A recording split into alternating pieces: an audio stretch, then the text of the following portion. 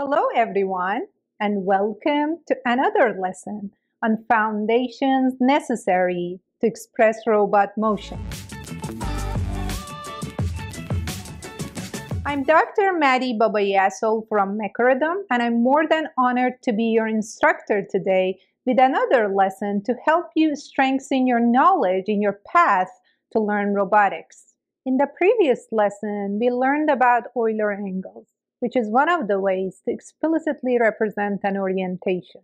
This lesson will continue with explicit ways to represent an orientation, and we will learn about Roll-Pitch-Yaw angles. Please bear with me to the end of the video because there are great examples and demonstrations at the end. Also, please like, share, and subscribe if you haven't done so. We'd love to have you as part of our family because you're so important to us. And it's the best feeling in the world to see that you progress every single day towards your goal uh, to master robotics. As always, this lesson has a reading version on the website that complements it. Watch the video first and read the reading for a deeper understanding. Okay, without further ado, let's get started. In the previous lesson, we learned about Euler angles. And we saw that Euler angles refer to the angles in a sequence of rotations relative to the body fixed frame. Roll-Pitch-Yaw angles, on the other hand, are a sequence of rotations about the space frame axes. If you want to know more information about the space frame and the body frame, please refer to the lesson on Introduction to Configurations. Visualize Roll-Pitch-Yaw angles as a sequence of rotations relative to the space frame as you see in this figure. The body frame is initially coincident with the space frame, so it starts from the identity rotation. Because they have the same orientation, so the rotation matrix representing the orientation of one frame to the other is equal to identity.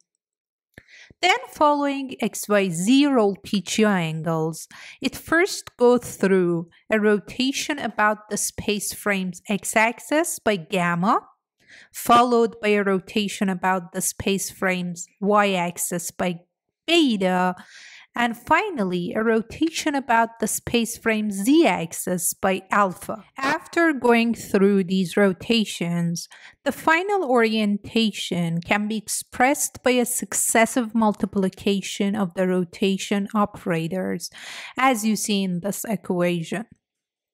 Note the order in which the rotation operators are written.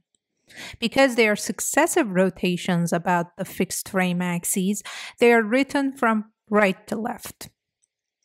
The result of the product of the three rotations is exactly the same as that for the ZYX Euler angles, but they have totally different physical interpretations.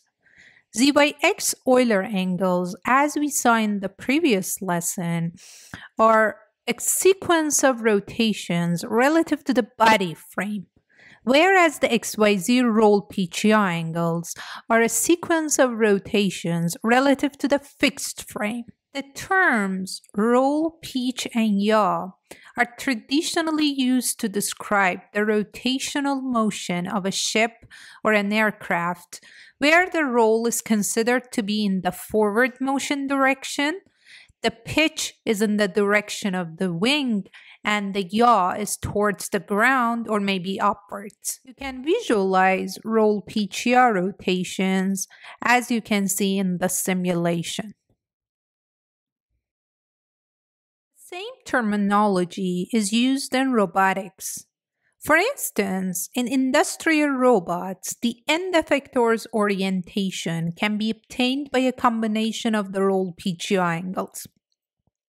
For instance, for the spherical wrist that you see here, which is very common in six axis industrial robots and constitutes the fourth, fifth, and sixth joints, with the axis of rotation of these three joints intersect at one point known as the wrist center, the Roll-Pitch-Yaw angles can be defined as you can see in this figure. Note that the distinguishing factor of the spherical wrist is that the three axes of rotation of the joints intersect at one point, whereas this is not the case for non-spherical wrists. For instance, in this figure, KUKA KR robot has a spherical wrist since all the last three joint, joint axes intersect at one point, but the AUBO i5 has a non-spherical wrist since the joint axes don't intersect at a point. Roll pitch yaw angles are not only used in robotic manipulators to represent the wrist's orientation, but are also used in mobile robotics. They can also be used in aerial robotics like drones to represent the orientation of these robots. Now let's solve the inverse problem. Suppose that we have an orientation expressed with a rotation matrix R as R equal to its individual entries and we want to find the set of roll pitch yaw angles that can represent this orientation.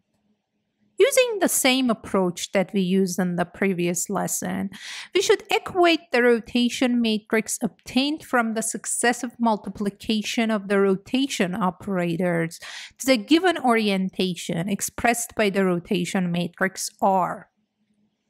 From the first two elements of the first column, we can find an expression for cosine beta, and from the third element of the first row, we can find an expression for sine beta.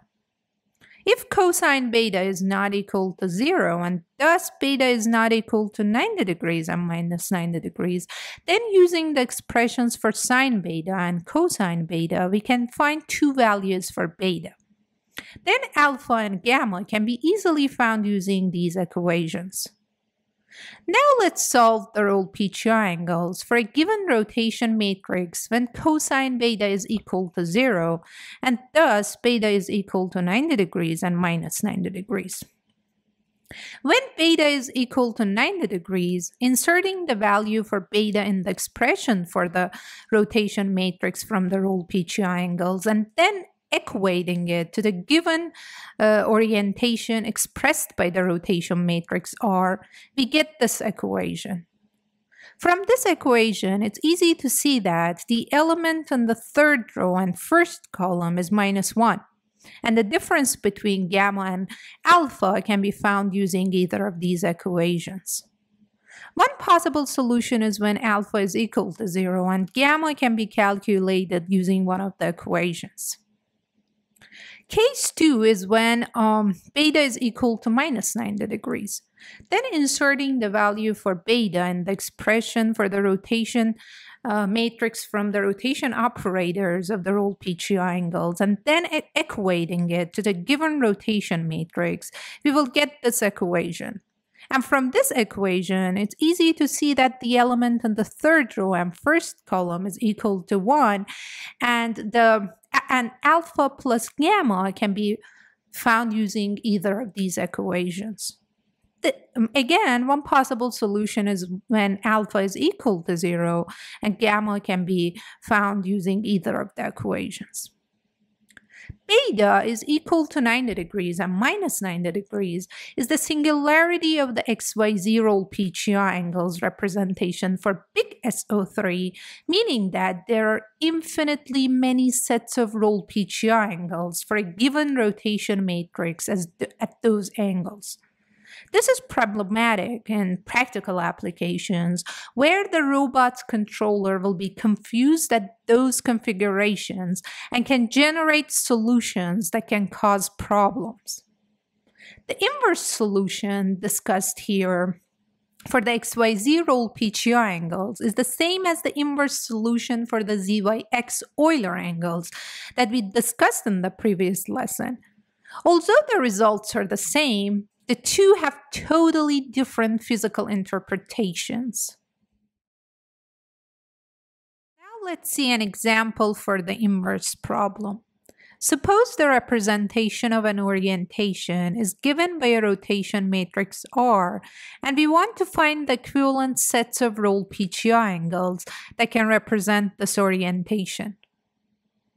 From the uh, equations that we saw in the previous slides, we can find the values for cosine beta and sine beta.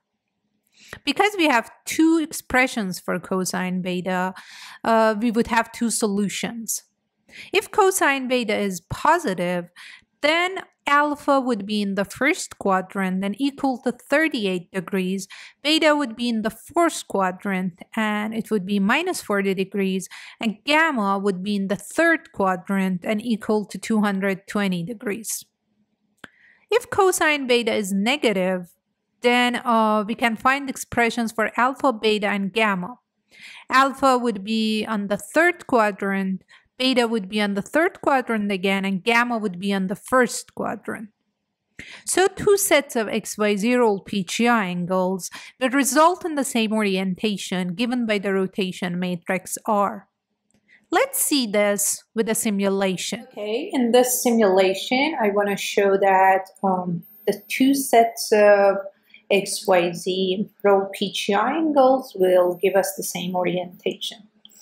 So I chose here the convention XYZ, which means a rotation about the space frames X, followed by a rotation about the space frames Y, followed by a rotation about the space frames Z axis. So I chose that. Uh, I don't want to change these because these are for the translation. I'm only interested in the rotation. So I'm going to change that. And the first sets of angles are 220.76 about space frames X minus 40 degrees about space frames Y and 38 degrees about space frame Z. So the final orientation would look like this. Now let's go to zero orientation and examine the second set of um, angles. The first angle is about space frames X, second one about Y, and the last one is about Z. So this is the final orientation again with these sets of uh, roll pitch angles and you can see that the uh, both sets give the same orientation. Let's see a demonstration where we want to convert the orientation given by roll pitch yaw angles to the equivalent Euler angles. Suppose that we have a remote controller with a known orientation given by the roll pitch yaw angles. In practical applications, the orientation of an object can be measured using sensors such as a gyroscope. We want to make the control system of a robotic hand follow the orientation of the remote control. But the problem is that the orientation of the robotic hand is set using ZYZ Euler angles. We want to find the transformation that transforms the orientation of the remote control given by roll pitch yaw angles to the Euler angles representation of the orientation of the robotic hand. The orientation of the remote control is given by roll pitch yaw angles. Therefore, the desired orientation for the robotic hands controller can be calculated using the rotation matrix discussed in this lesson for roll pitch yaw angles. Now using the inverse solution to the ZYZ Euler angles that we developed in the previous lesson, we can find the sets of ZYZ Euler angles, uh, of course for the singularity free case, for the orientation of the robotic hand given the orientation of the remote control we would find two sets of solutions. As a numerical example, if the sensor attached to the remote control measures the orientation of the remote control approximately uh, as the roll pitch yaw angles of 30 degrees, 60 degrees, and 45 degrees, then in order for the robotic hand to follow this orientation, the ZYZ Euler angles using the equations that we just saw should be uh, about 11 degrees, 64 degrees, and 16 degrees. That's one set, and the other set would be 168 degrees, uh, minus 64 degrees, and one um, and minus 163 degrees. For your convenience, we wrote a MATLAB uh, code to calculate the same result. You can see that in our website. Now let's actually see that these sets of Euler angles will give the same orientation as the set of the rolled pitch yaw angles representing the orientation of the remote. We'll see that with a simulation. Okay, let's actually see that the two sets of the Euler angles that we found will actually give the same orientation um, as the orientation given by the rolled pitch yaw angles for the orientation of the remote. So first let's check the, uh, the orientation of the remote by rolled pitch yaw angles. So I changed the rolled PGI angles to 30, 60, and 45 degrees. And this would be the orientation of the remote with these sets of rolled pitch yaw angles. Now let's go back to the zero orientation and check the first set of uh, ZYZ Euler angles. So I changed the convention to ZYZ Euler angles and let's examine the first set of ZYZ Euler angles. And 16.10 which will give the same orientation. And the second set of the Euler angles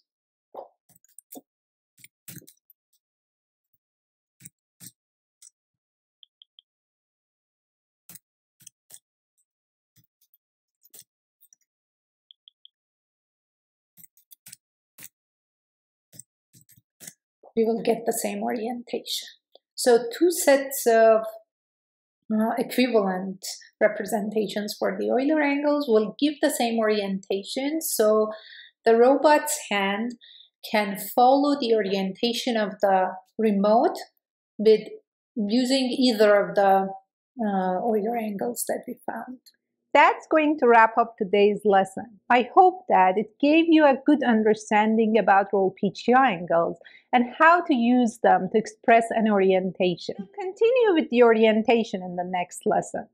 And we'll see another representation to express an orientation that we call unit quaternions. Thanks for watching, everyone. Don't forget to like, share, subscribe, and follow to be part of the Mecharithm fam. We strive for excellence, but not perfection. So please excuse occasional typos and mistakes that you see in videos or in the writing. We'd also like to hear from you. Your suggestions and feedback are highly appreciated. It's our mission to make the hardest concepts fun and easy for you to understand. And we'd love to know if we are in the right path. Send us an email or leave us a comment. Write to us what field are you in and why you're interested in learning robotics. What difficulties do you feel in learning robotics and what is the most difficult concept for you? Thanks again for watching and best of luck in your path to master robotics and mechatronics. See you in the next video. Bye!